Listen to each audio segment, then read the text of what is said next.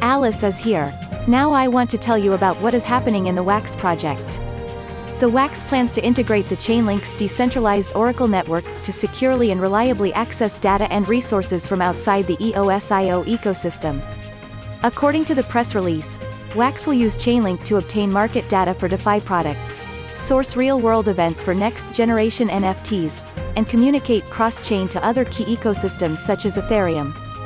It is always nice to look at projects that do not stand still but develop all the time. Subscribe to our social networks, like and keep abreast of events from the world of blockchain with us.